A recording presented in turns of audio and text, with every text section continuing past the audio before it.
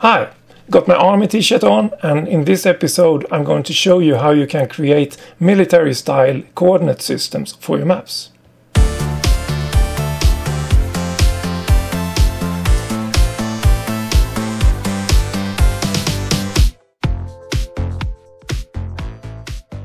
For this I'm just going to use a simple uh, WMTS service as a background map, but the background map is not important.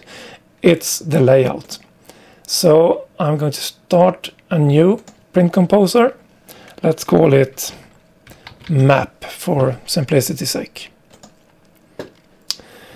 And let's add a map.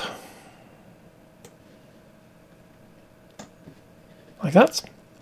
So most military maps uh, as a standard has 1 in 50,000 or 1 in 100,000 scale.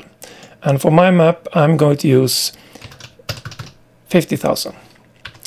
But just typing it here, it's easy to for that to change by changing or resizing the data frame. So instead I edit the value to 50,000 and then it will always be 50,000 no matter what I do with the data frame. So that's a little tip.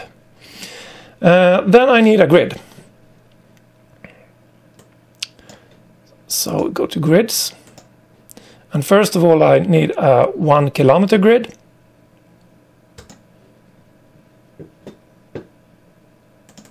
and let's call that UTM 1 kilometer. Should be a solid grid.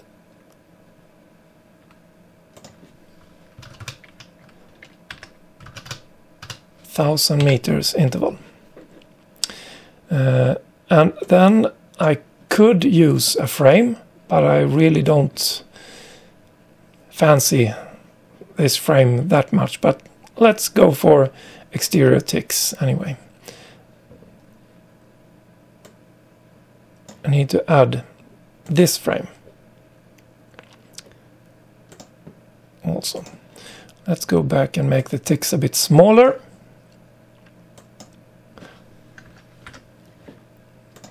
Maybe like that.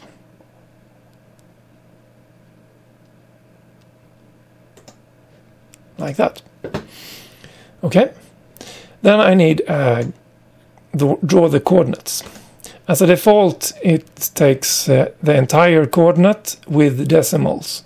Uh, so I'll quickly skip to custom and edit it. Uh, for a military style map, it's just the kilometer numbers that are interesting. So that if that is the only thing we want, you can do that by uh, expression.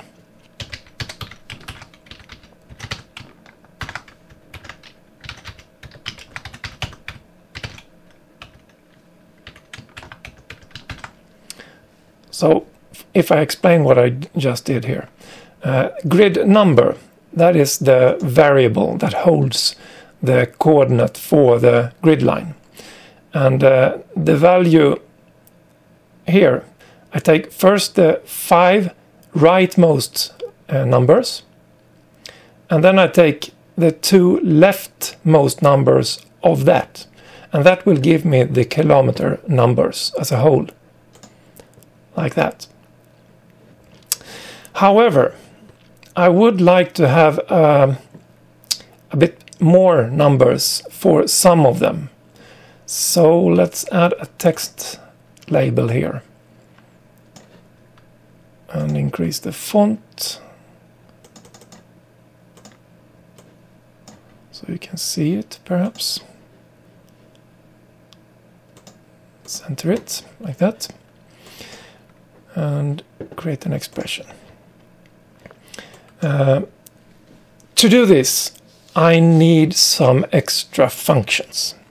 And uh, the functions I use, I will have links in the description below. Uh, so you can uh, download them yourselves. And you need to place them inside, let's see. Uh, if I can find my file.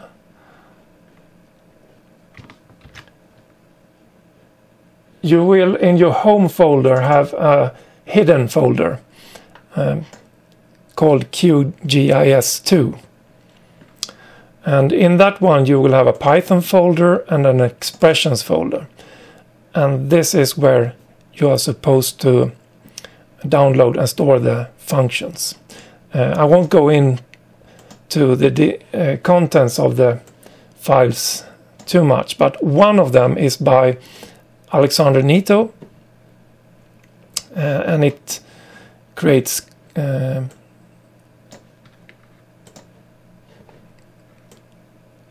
it finds the max and min uh, coordinates for a map in your layout.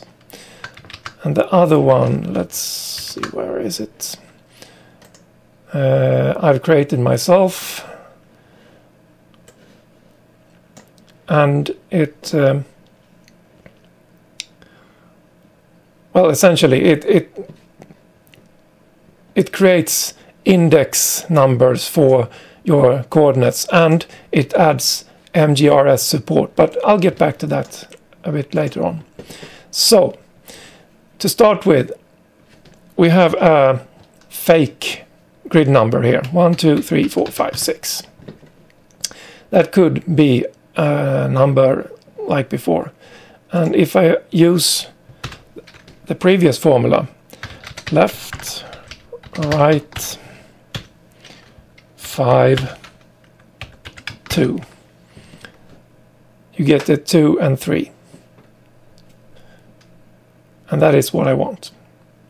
But I, for some letters, I would like to have more than just the kilometer numbers.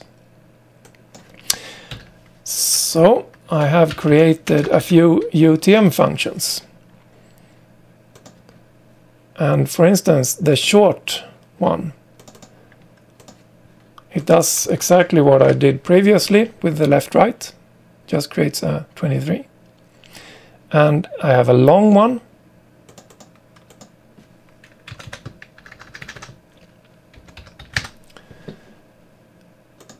And that creates indexed numbers for the rest of the uh, numbers.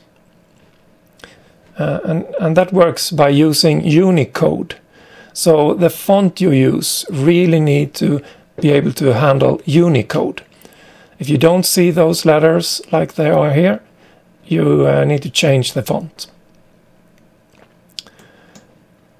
And then the last one is index.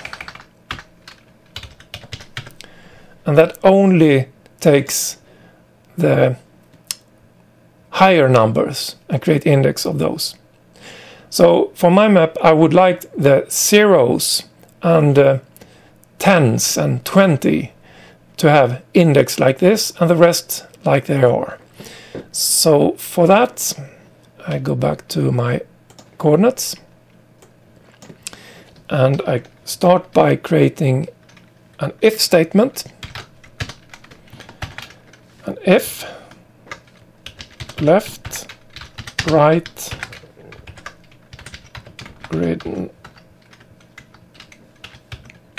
grid number 4 1 equals 0.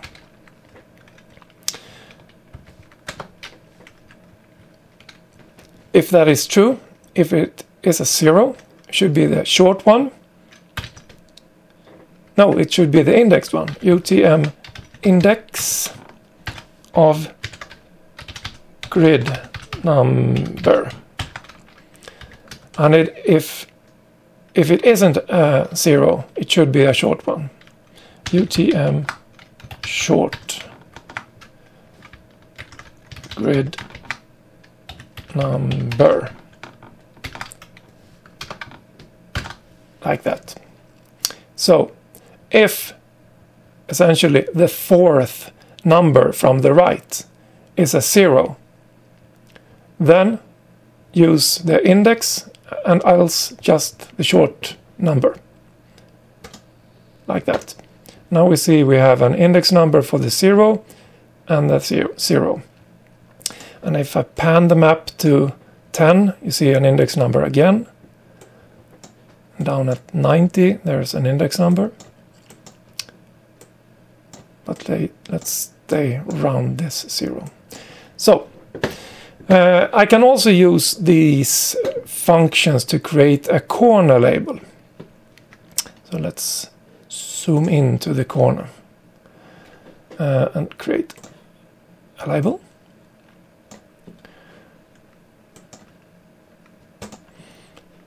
So I want to have a UTM long for my number like that.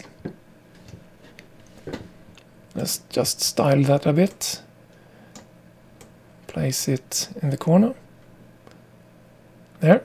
But uh, I need to uh, fetch the x coordinate for the corner in the lower left here.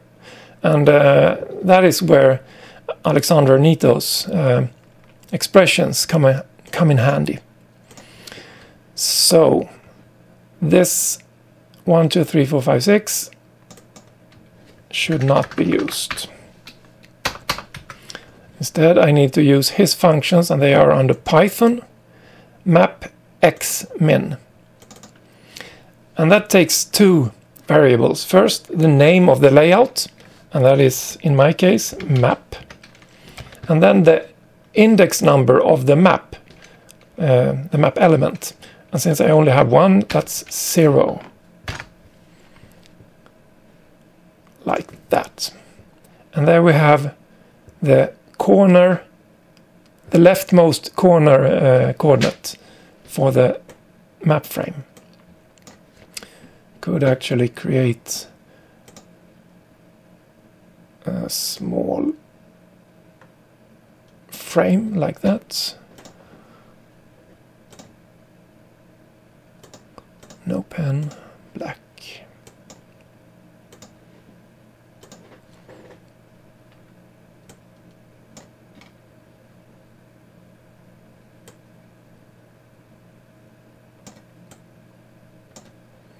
Ah, good enough. I'll just copy and paste that one to the y-axis and rotate it 270 degrees.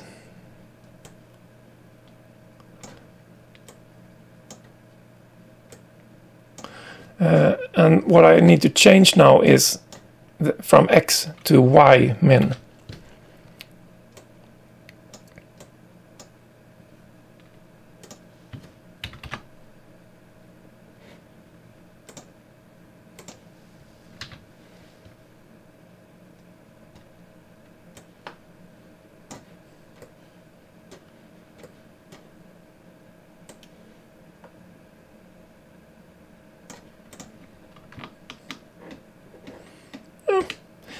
That's good enough. Uh, and these numbers will update when I uh, move around the map. Uh, maybe not immediately, but uh, uh, when you print it or export the map, they will be updated. And sometimes it depends on how you are zoomed in on the map as well.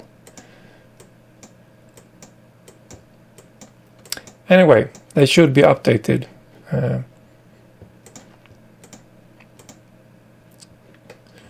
okay. Now over to MGRS. Uh, that is a military uh, grid reference system, MGRS. Uh, and that's a way to simplify reporting positions on a map. And that is based on a lettering system. That gives uh, two letters as a name for each 100 kilometer big uh, square. And that system can be uh, calculated from uh, a few values from the coordinate. And uh, those letters will replace the index numbers in the coordinates. For instance, this 4 and this 65. Uh, so first I need to divide the map so I know where the borders or the boundaries between these MGRS um, letters are. Let's call that MGRS.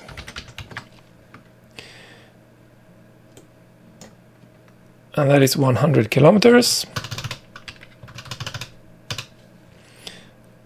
And let's make that line a bit bigger. Like that, so we can see it.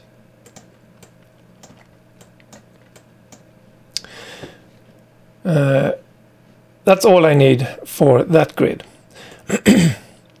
then I need to place labels. So for instance, let's say we have an MGRS letters A, B. Uh, I want them to follow the map and be placed on either side of the boundary.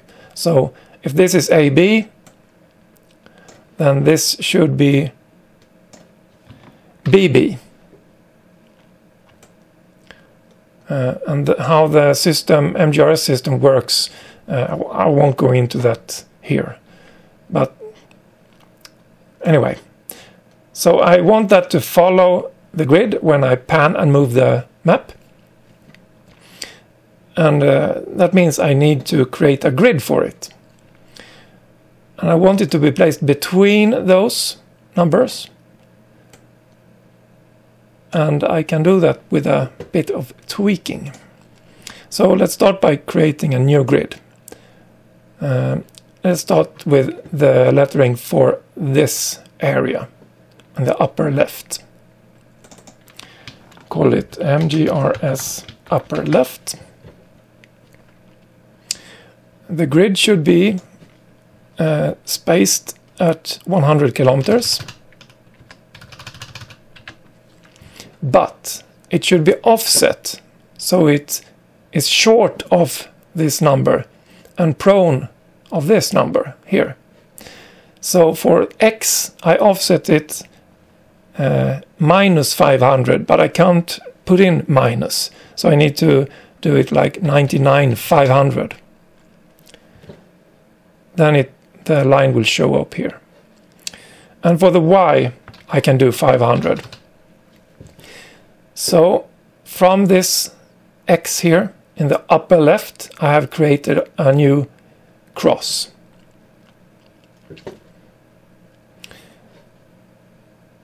Uh, I won't be using the lines later on, but I'll keep it for now. I need to draw coordinates but I want letters, not numbers. So let's go to custom and for now I'm just putting in A, B because I want to, oops, A, B. I want to style it a bit bigger. I think 14 will be good like that. Yep, that's fine. And move the label away. Okay. Uh, so now I need to use one of my own functions. And that is mgrs bigram. Uh, it uh, uses the UTM coordinates in easting and northing plus the number for the UTM zone and it calculates the uh, MGRS bigram or letters for the, the coordinate. So I'll use MGRS bigram. Then I need the easting and that is the coordinate line for this one.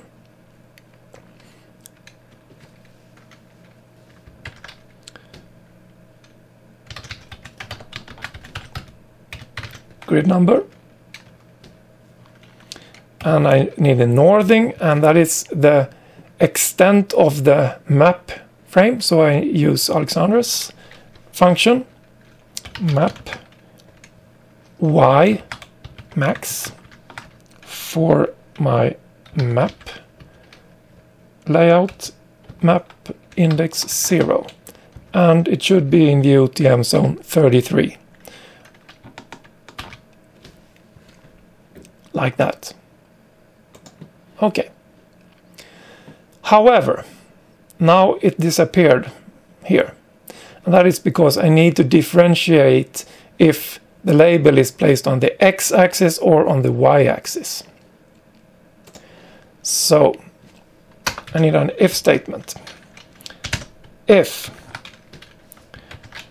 grid axis equals x, then I should uh, print that letter, those letters. Otherwise, I should look to the y-axis, mgrs bigram And for the easting, I use the minimum x extent.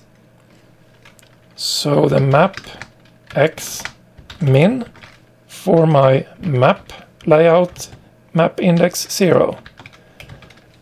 And the northing should be the grid number at grid number. And it's still UTM zone 33 and close off the if statement. Okay, we have uniform foxtrot in the upper left. Uh, however, I have letters here, and uh, those I don't want, but those are easy to remove. To the right, disable, and bottom, disable, like that.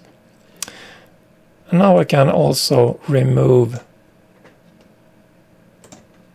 the lines. So for grid type I choose only frame and annotations. Okay, now I need to repeat this for the upper right. MGRS, upper right.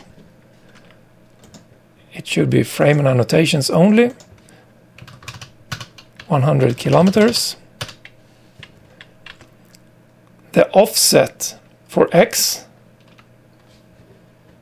here should be 500 to the right and it should be above the, uh, the axis 500 so plus in both cases draw coordinates and we should only show them on the top right so left disabled and bottom disabled Let's set the font right away as well. 14.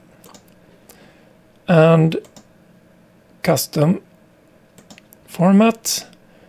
Use the recent. And this time it should be Y max. That's okay.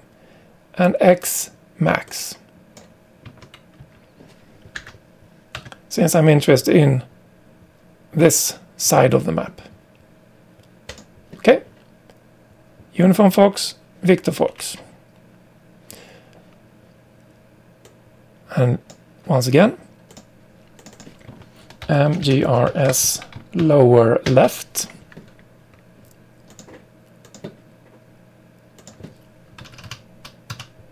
One hundred kilometers. And since we are down here, I need to plus 500 and minus 500 for y. So x 500 and 99 500 for y. Draw coordinates and I can remove it from the left and remove it from the top. Should be 14. Okay. And custom use the recent. This time it's y min, since it's the bottom of the map. x max still. like that. Victor Echo. And the final one. MGRS lower I can't differentiate between left and right obviously the previous one was lower right so the lower left frame and annotations only 100 kilometers and this time it should be minus 500 for both. So I need to put in 99 500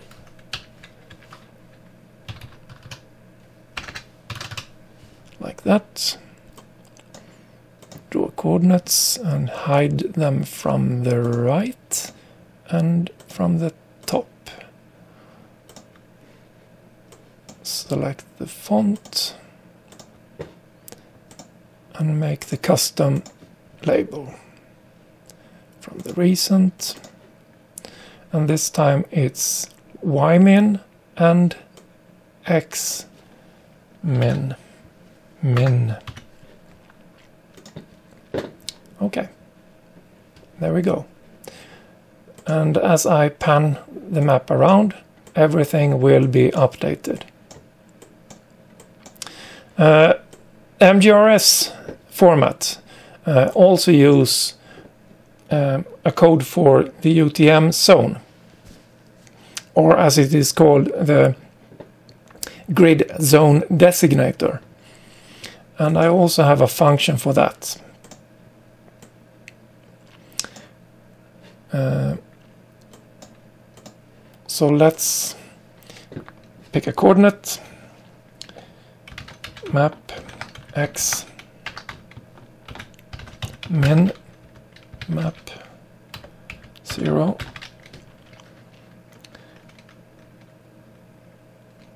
and easting eller northing map y. Min map 0 and zone 33 this should be a function of MGRS grid zone designator. There we go.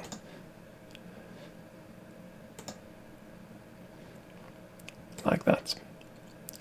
So here we have the basics for a military styled map. Uh, the map isn't the style, the, the coordinates are the style. Um, let me just put a square around this.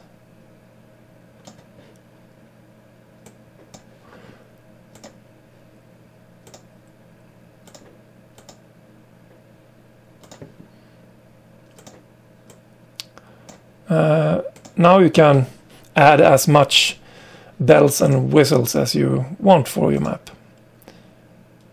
But by using the custom functions I've showed you here, you can absolutely create uh, grids of a military style for your maps. One issue though, uh, there is a problem when you get to the boundary to the next UTM zone. Uh, there is no good way to uh, handle this in QGIS. So, but as long as you stay wi completely within one UTM zone, uh, there is absolutely no problem. Uh, sadly enough, for uh, Sweden, for instance, um, Stockholm is exactly on one UTM zone. Malmö and Gothenburg is on the other oh, not really Malmö, but Gothenburg is on the other. So uh, we we have a bit of a problem when we want to create uh, maps over a UTM zone in Sweden. Uh, but as I said, uh, as long as you stay within the zone, this is a one way to create military styled maps in QGIS. See you next time!